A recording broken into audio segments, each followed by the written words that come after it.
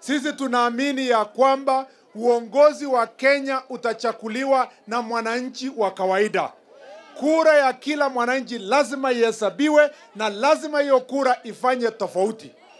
Uhuru Kenyatta alikuwa rais kwa sababu ya kura ya mwananchi wa kawaida.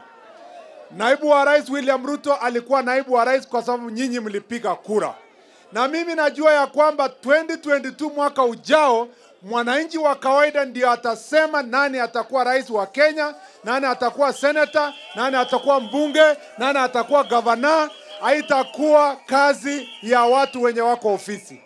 Mimi nataka tu kumwambia Rais Uhuru Kenyatta, yeye alipewa uwezo na uongozi na mwananchi wa kawaida. Yeye alipikiwa kura na naibu wa rais wakiwa na kesi huko Hague.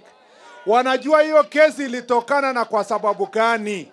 Nataka kumwambia rais ya kwamba you are the least of the people we expect less when it comes to uniting our country and we want to continue with the journey ya kuhakikisha Wakenya wameketi pamoja.